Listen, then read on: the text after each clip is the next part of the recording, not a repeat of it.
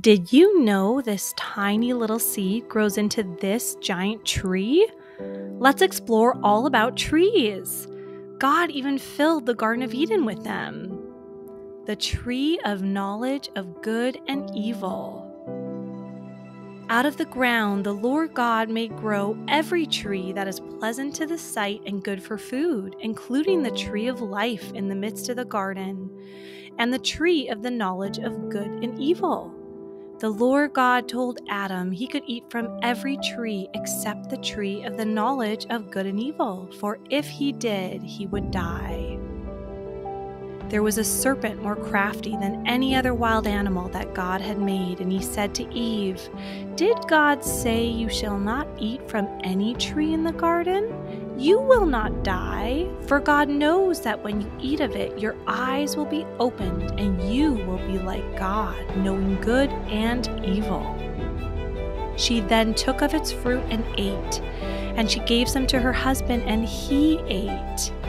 He drove out Adam, and at the east of the Garden of Eden, God placed the cherubim and a flaming sword to guard the way to the tree of life.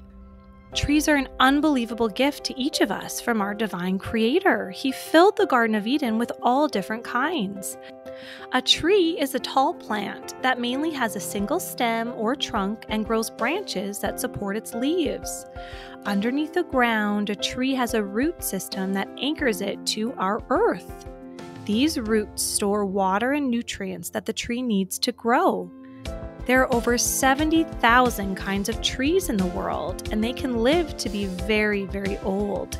Some trees have lived for thousands of years. That's crazy. That makes them older than our country. I know.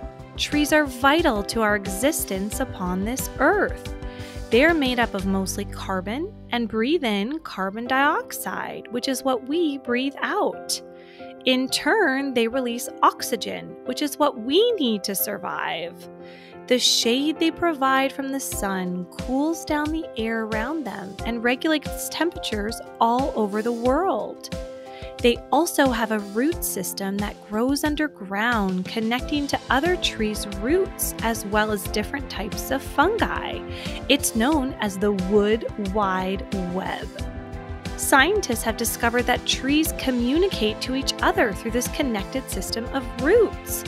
They share water and nutrients with each other, often older trees giving more carbon or water to younger trees or any tree that may need it. Aw, it's just like a family. I know, isn't that interesting? Trees can also warn other trees of danger nearby. They send out chemical signals through their roots warning of insect attacks. The neighboring trees can then produce chemicals to fight back against the insects. Albert, hi, how are you? We are learning all about trees. Do you ever live in them? Albert doesn't. Most peregrine falcons make their homes, which they call a scrape, on a cliff ledge or high flat surface they hollow out a little area to lay eggs in and rest. Oh, that's neat. Albert, show us more about trees. From mighty oaks to weeping willows and dreamy wisterias, there's no end to God's creativity found in trees. Scripture tells us in Wisdom 13:5 from the greatness and the beauty of created things, their original author is seen. Look at this beautiful coppery bark on the Tibetan cherry tree, or the stunning colors on a rainbow eucalyptus. Trees come in so many different unique shapes with different leaves and all kinds of fruit. A tree begins its life like any other plant. A small seed finds its way to the dirt from a mature tree by usually wind or animals. When the conditions are just right, it germinates and sprouts. Then it becomes a seedling, which is a young tree, and it develops its first leaves. As it grows, it becomes a sapling, and its trunk and branches get stronger. With enough sunlight, water, and energy, it grows into a fully developed mature tree. This is where it is able to flower and then grow fruit. This stage is so important for our environment. These trees provide shade, habitat, and also keep the carbon down in our world. After many years growing and blooming as a beautiful mature tree, a tree begins the aging and decline stage and weakens. Eventually, a tree may die and become either a snag, which is a dead standing tree, or a rotting log. What is fascinating about this stage is even in their death, trees are still helping our ecosystem. Fungi and other decomposing organisms get to work and use the bark for food, shelter, and nutrients. So every single stage of a tree's life matters? Yes, every single one. Just like you. Even when you were little and could not talk and run and work yet, you matter just the same. Your body is building up and reproducing cells to grow into the wonderful young child that you are. Each year, you get stronger and smarter and can do even more. Then you begin to share your talents with the world. It's your time to flower and bear fruit. In Luke chapter 6, Jesus tells his disciples, No good tree bears bad fruit, nor does a bad tree bear good fruit. Each tree is known by its own fruit. We must always remember the more good we put into our growing selves, like practicing virtue, staying close to God in prayer, and being kind to others, the better fruit we will produce. What kind of fruit grows on trees? Great question. All different kinds cherries, peaches, plums, oranges, lemons, and limes. There are so many delicious fruits we get right from trees. Apples, bananas, coconuts, too. There are also unique fruits like guanabana, dragon's blood, and cannonball fruit trees. Look at these. The cannonball fruits grow right on the trunk of the tree. So interesting. Let's go with Albert to explore the different trees and forests of our world. In the desert, you will find the Joshua tree and the desert willow. These special trees are able to survive in arid and harsh conditions with only a little bit of rainfall. They have waxy leaves that can store up moisture as well as in their trunk. It is believed that settlers named the Joshua tree after Joshua in Scripture, who led the Israelites into the Promised Land after 40 years in the desert. It's also an essential part of the Mojave Desert ecosystem. Its branches and trunks provide shelter and nesting sites for many creatures. Scott's orioles make their nests in its spiky leaves, wood rats build their homes under the protection of their fallen leaves, and desert night lizards rest peacefully throughout the tree's branches. Moving up north into the Midwest of the United States, one beautiful tree that has a special surprise within its branches is called the cottonwood tree. This tree is native to North America and is the fastest known growing tree in the area. It grows 6 feet per year up to 100 feet tall. But what is truly beautiful is a surprise tucked inside of its branches. There are special sections called growth knuckles, and if you cut this knuckle in half, you will find something spectacular a perfectly shaped star, which is the tissue that carries food and water throughout the tree. It's perfect! The Midwest is also home to maple trees, which produce sap, a sugary substance that Native Americans first turned into maple syrup. Yum, I love maple syrup. It comes from trees? Yes, guess what else maple trees give us? Instruments. We use maple trees for parts of electric and acoustic guitars, violins, ukuleles, mandolins, and even drums. Wow, I had no idea.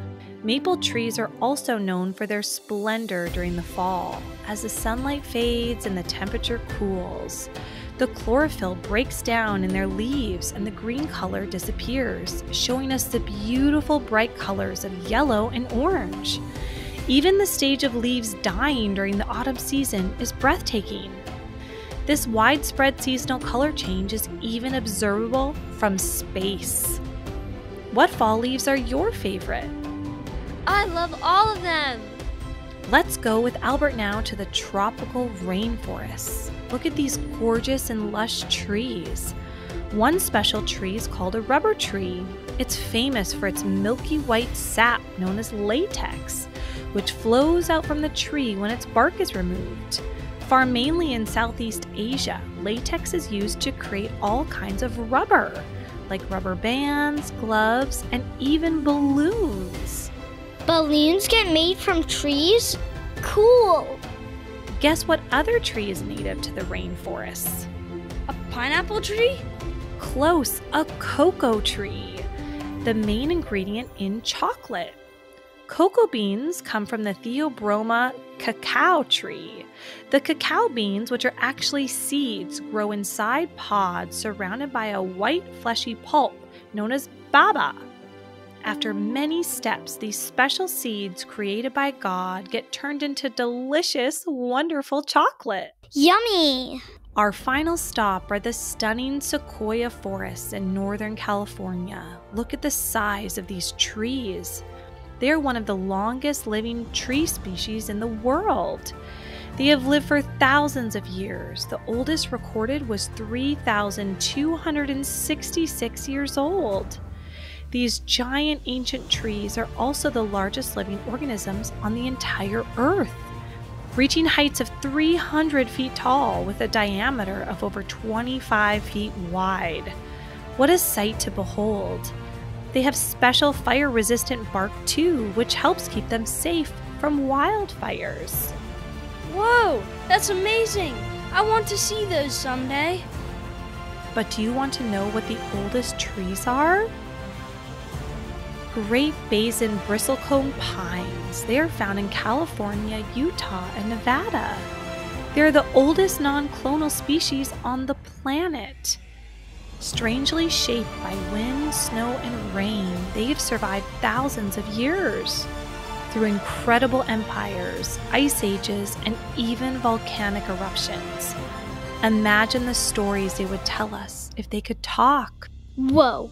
I would ask them so many questions about the dinosaurs. What about tiny mini trees? Yes, there are even tiny little trees called bonsai trees.